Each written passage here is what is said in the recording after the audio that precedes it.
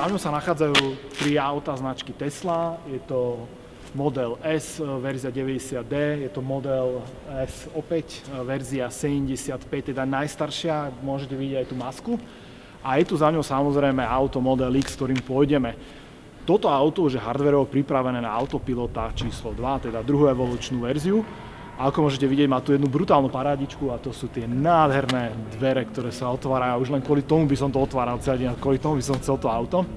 Ten rozdiel je, že kým prvá verzia autopilota mala len tri kamery, to znamená, že e, mala vpredu a vzadu, táto verzia už má vpredu tri kamery, má z boku ďalšie kamery a vzadu zase ďalšie. Takže hardwareovo to auto je naozaj pripravené pre budúcnosť a čo najlepšie, my si ho teraz ideme vyskúšať.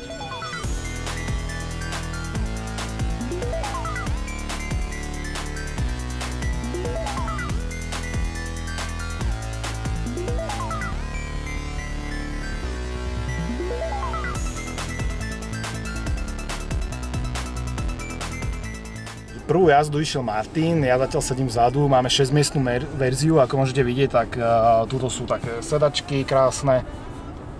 Veľmi dobre sa mi v nich sedí, možno by som privítal, aby boli bližšie k sebe, uh, menšiu medzeru v strede. Ale zase to auto je veľmi praktické tým, že v strede vás nič neobmedzuje, aby ste tam dávali nejaké dlhé diely. Tak momentálne sa šinieme cez Viedeň, povedal by som, že je naozaj premávka.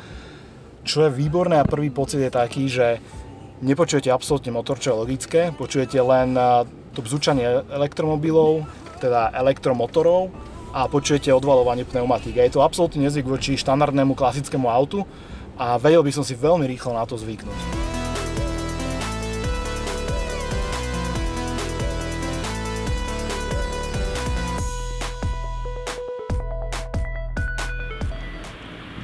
Takže po pol hodine som konečne Martina dostal spoza volantu a teraz je rada na mne. Idem si vychutnať tú perfektnú jazdu a vy budete pri tom.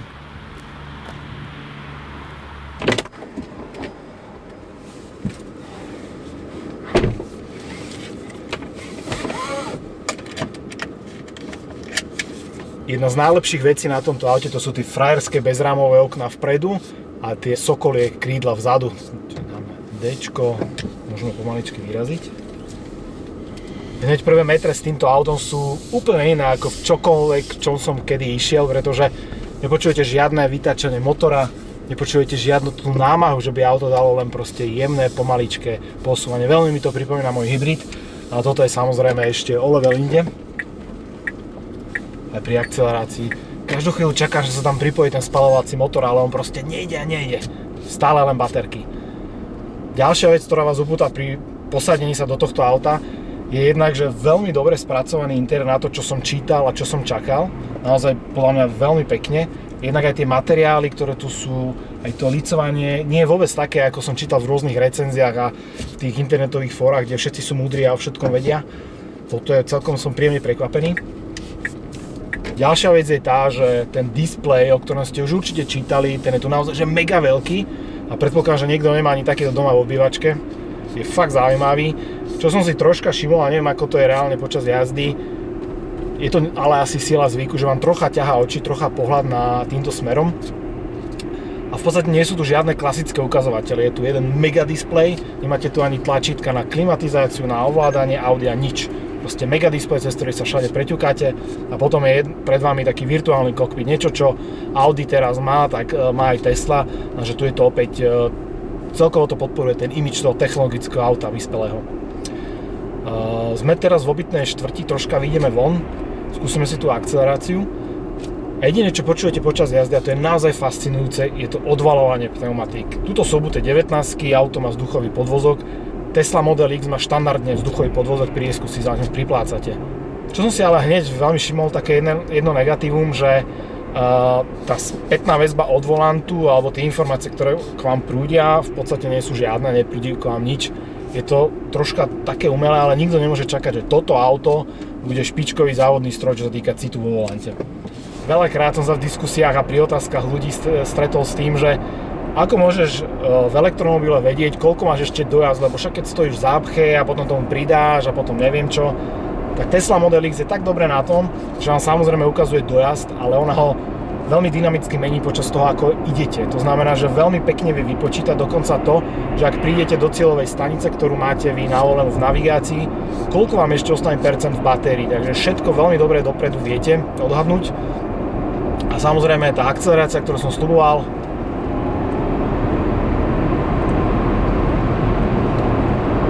idem jemne nad povolenú rýchlosť, veľmi jemne, a to čo, to, čo si vždy odnesiete pri akcelerácii v tomto aute je, že tie newtonometre sú tu okamžite, okamžite tuto na vás skáču z tej baterky a okamžite to zrýchlenie k dispozícii. Žiadne podraďovanie, žiadne vytačenie motora, proste jeden plynulý záťah. Aj ten zvuk, aj ten záťah v podstate mi veľmi pripomína záťah v lietadle. Keď už vlastne na runway roluje a ide sa odlepiť z toho letiska, tak je to presne veľmi podobné. Teraz schádzame na diálnicu. Opäť akcelerácia, krása, krása. Hlavne to je to najlepšie, že žiadne drama sa nekoná, žiaden hluk. Krása je v tom, že počujete len tie elektromotory a tie pneumatiky a prípadne pri vyšších rýchlostiach ten, tú aerodynamiku, ako tu jemne začína vzduch prúdiť, ale nič iné. Veľa ľudí mi hovorilo, že by im to chýbalo v aute, ale keďže toto je rodinné auto, verte mi či nie, nebude vám to chýbať a presne opačne. Navyknete si na toto a ako náhle si sadnete do bežného auta, tak budete mať problém s tým, že to auto veľmi hučí. Jedna z mnohých vecí, na ktorú som narazil v diskusiách, je, že to auto vlastne ani nekúri, ak e, príde k nejakým minusovým teplotám. Môžem povedať, že je to naozaj blbosť. Vonku máme minus 3 stupne, máme tu navolených 25 stupňov v kokpite, pred chvíľou sme tu mali 27 a to už mi fakt bolo teplo a nejak výrazne som nevidel, že pri zmene teploty by ubudalo alebo pribudalo k dojazdu. Takže to auto naozaj nemá problém s kúrením. Samozrejme, ak by klesla vonku teplota minus 20, tak asi niekde problém bude, ale ak sa týka bežných teplot e, v našich končinách a bežné prevádzky, naozaj nemôžete mať s tým problém. Ďalšia veľká téma je dojazd, reálny dojazd. Výrobca uvádza okolo 450 km a podľa tých skúseností aj e, ľudí z Tesly vo Viedni je to naozaj reálna hodnota, pretože veľmi často dochádzajú do Viedne. A ak to naozaj to auto chodí a dokáže ísť na 450 km vzdialenosť, tak klobúk dolu. Pretože pri tej dynamike, pri tom pohodlí, super. Toto auto, či chcete, či nie, je prémiové. Možno nie prémiové svojimi materiálmi a jazdnými vlastnosťami, ale určite prémiové technológiu, ktorú poskytuje a dovolím si tvrdiť, že je to jedno z najpokrokovejších aut za posledné roky. E, cena na našom trhu, alebo respektíve ak ste zákazník zo Slovenska, tak môžete mať Tesla Model X v rozmedzi od 100 do 150 tisíc eur. Dobrá správa je, že čakacia doba na úplne nový kus podľa vašich špecifikácií je zhruba 3 až 4 mesiace, ale ak by ste strašne moc chceli toto auto, môžete ho mať do mesiaca, pretože je dosť veľký počet skladových zásob e, k dispozícii. Ak už teda toto auto máte, dali ste za ňo svoje ťažko zarobené peniaze, určite vás bude zaujímať napríklad servis. Toto auto logicky má trošku iný interval a iné spôsoby servisovania ako bežné auto. A to znamená, že buď po každom roku alebo po každých 20, kilo, 20 tisícoch kilometrov vy prídete do Tesla servisu, tam vám len skontrolujú brzdy, skontrolujú vám batérie samozrejme a v neposlednom rade vám dolejú aj kvapelinu do ostrekovača. To je všetko.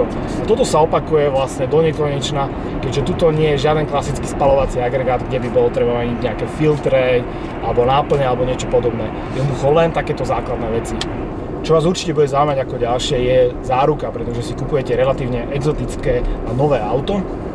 Tak tá záruka je 4 roky alebo 80 tisíc km na celé auto, úplne na všetko alebo potom 8 rokov bez obmedzenia kilometrov na tie najdôležitejšie elektronické súčasti, vrátane batérie.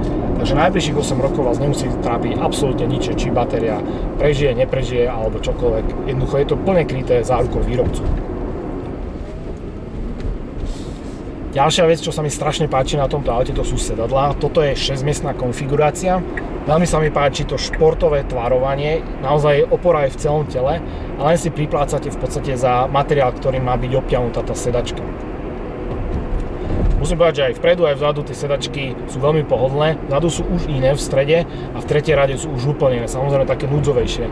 Ale vpredu myslím, že sú naozaj špičkové a nie sú porovnané s akýmkoľvek iným autom. Bez ohľadu na to, či viete, ako vyzerá Sokol v reálnom živote, tak môžete si byť istí, že Tesla Model X má sokolie krídla, teda Falcon Wings. Tieto dvere fungujú uh, naozaj veľmi sofistikovane a nemusíte sa báť, že by ste ich niekde obuchali v nejakých uh, priestoroch, pretože tých čidiel, ktoré to kontrolujú, je tam strašne veľa a dokonca sú také opatrné, že ak máte aj nejaký konár nad uh, autom, tie dvere sa neotvoria úplne do plného rajdu. Čo však treba povedať je, že pri kúpe tohto auta vy v zmluve jednoznačne podpisujete jeden riadok, kde je napísané, že Tesla nezodpovedá za žiadne škody spôsobené otváraním týchto dverí. Takže je už na vás a na to majiteľovi a vodičovi auta, aby si skontroloval, kde tie dvere otvára. Je to testované aj v úzkých eh, podzemných garážach, takže to je bez obav, ale naozaj môže byť niekedy situácia, že sa vám podarí tie dvere oškrať ale v tom prípade nevolajte Elonovi na mobil, pretože vám nezdvihne kvôli tomu. Motáme sa cez Viedeň, máme stále dojazd 284 km, vonku sú minus 2 stupne a musím povedať, že tie kilometre ubúdajú naozaj veľmi pekne podľa reality, ako sa pohybujeme cez Viedeň. To znamená, že zrazu, nestane sa, že by zrazu padol, padol dojazd o 20 km, naozaj veľmi pekne to ide. Ako by som zhrnul Teslu Model X, nie je to auto pre každého a Tesla to ani netvrdí. Jednak tá cena je taká, aká je a jednak ani to súžitie s Teslou asi nie je pre každého. Ak bývate v paneláku a nemáte kde dobíjať tento elektromobil, asi vám to veľa nepomôže. Ale ak máte na to, aby ste si mohli kúpiť toto auto, ak chápete jeho plusy, jeho minusy a chceli by ste do toho ísť, vrelo to odporúčam, pretože to auto ma veľmi milo prekvapilo a hlavne napriek tomu, čo všetko zle som o ňom čítal ja mať tie možnosti určite neváham.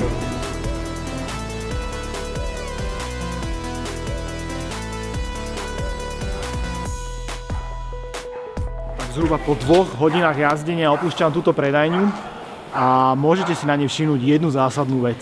Aj keď sme prišli, aj keď odchádzame, je plná ľudí, toto som ešte nikdy nezažil, aby v showroome na nové autá sa stala normálne fronta na vyskúšanie. Ale Tesla to dokáže a ja jej v tomto naozaj skutočne fandím.